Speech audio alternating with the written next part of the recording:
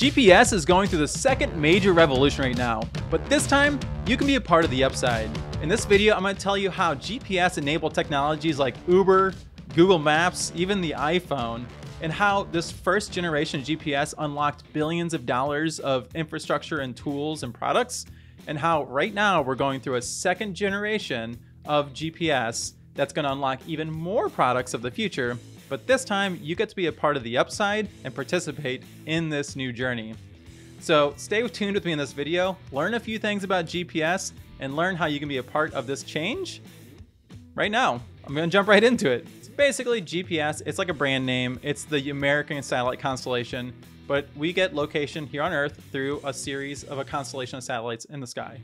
Essentially, we have satellites all orbiting the Earth, and we're able to locate ourselves by this thing called trilateration, basically triangulating ourselves by finding, you know, three or more satellites and it's gonna pin us onto the Earth's surface. So that's essentially what's going on, right? We got a bunch of satellites in the sky, I know where they are, and then from that information, I'm able to find myself on the Earth. Really high level, guys. Uh, not trying to get too deep. That's basically in principle what's going on.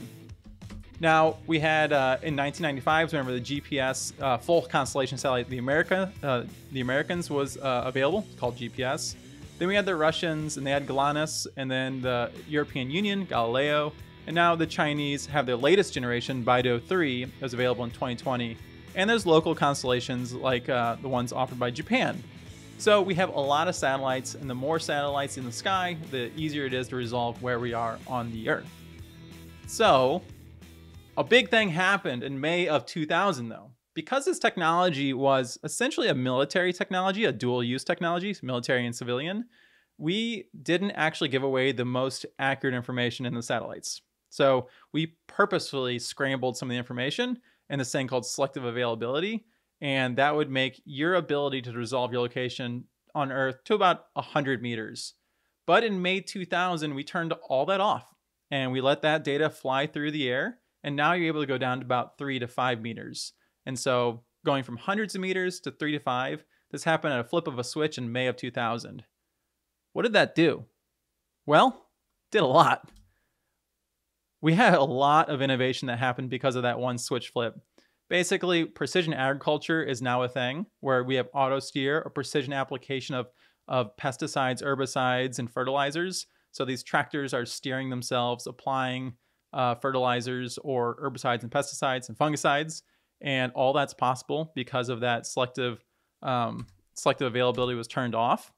And then, then we have Google Maps, guys, and we use this one all the time. Apple Maps came out in 2012, but Google Maps came out in 20, 2004, and Google Earth in 2005. The iPhone, Android, DoorDash, Fitbit, Uber. I mean, you guys get the picture. All these technologies are based off of the back of this selective availability being turned off and getting accurate information down to three to five meters.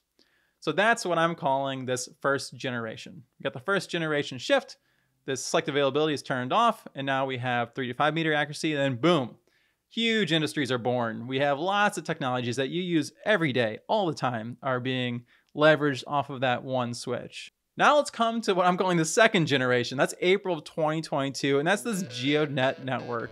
And so GeoNet is doing something slightly different to take us from meters to centimeters. See what I'm saying? So we went from hundreds of meters to a handful of meters. Now we're going from a handful to centimeters. You know, again, a huge improvement of accuracy.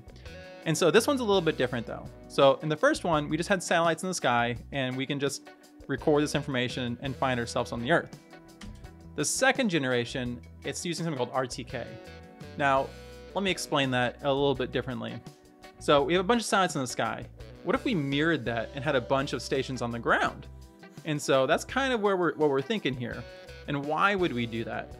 Well, whenever I mean, if, if you play video games, you're familiar with latency, right? So like if you're playing Call of Duty and you have high latency, you're like constantly like lagging from everyone else in the game, right? So very similar things happening from these satellite signals to get down to you on Earth we basically have distortions in the signal, which just fundamentally you can't resolve the information good enough to find your location. But if I have two GPSs, they can actually cancel out a lot of that common mode noise and take that accuracy down from that couple meters to the centimeters. So that's the whole concept here. We want to have a second GPS receiver networked and communicating with our GPS receiver.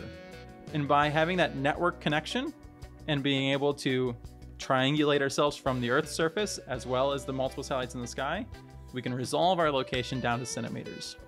And that's essentially what's going on RTK. Obviously, the math and everything gets much more complicated, and I'm making it very overly simplified here, but that's basically what's going on. And that's what GeoNet is. So we can actually hop over here onto the Rock Cloud, and because we have a plugin, uh, so everything is available in Rock Cloud that shows the GeoNet network.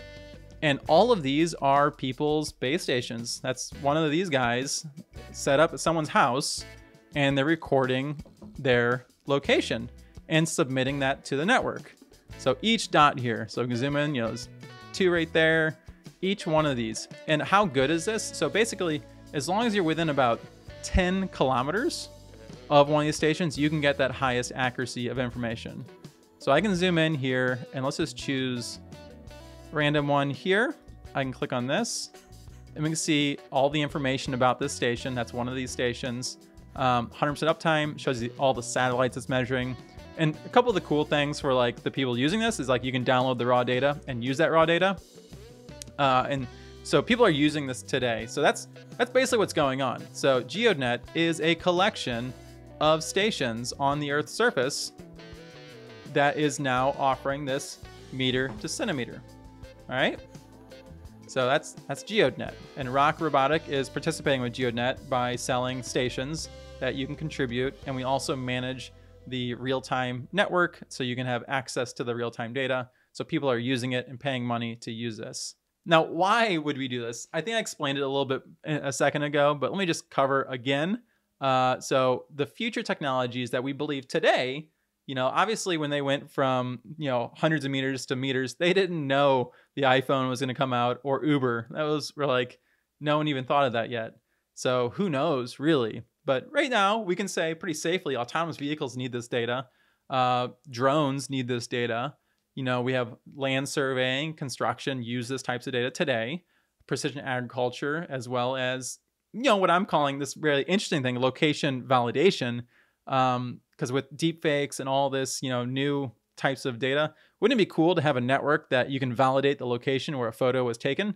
I think that'd be really cool. Uh, so that way we can kind of like prevent some of the deepfake stuff. I'm going to show you some magic.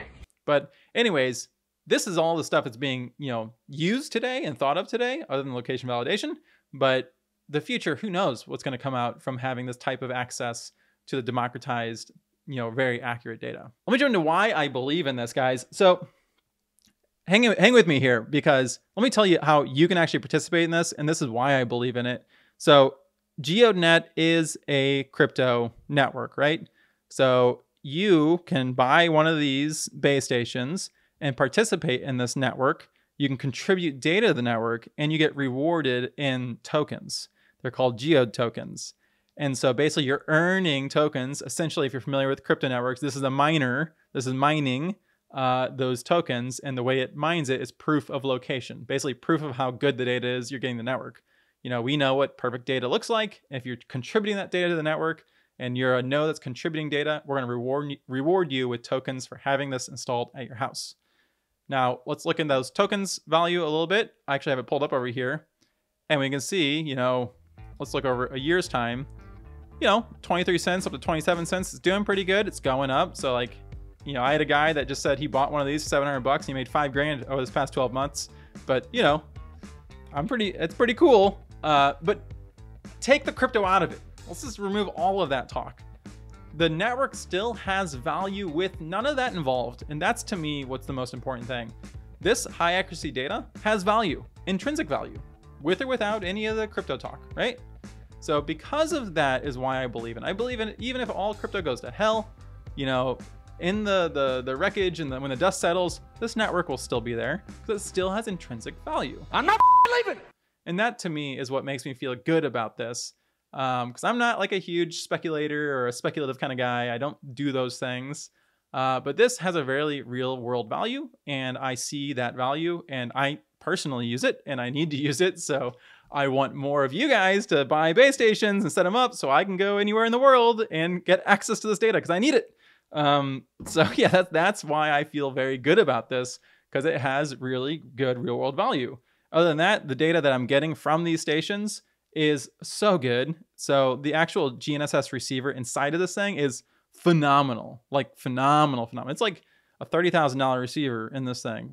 I mean, what you can make products out of. There, you can benchmark these things, and it's it's crazy the the quality of uh, data you're getting from this. So that's why I feel very bullish of it.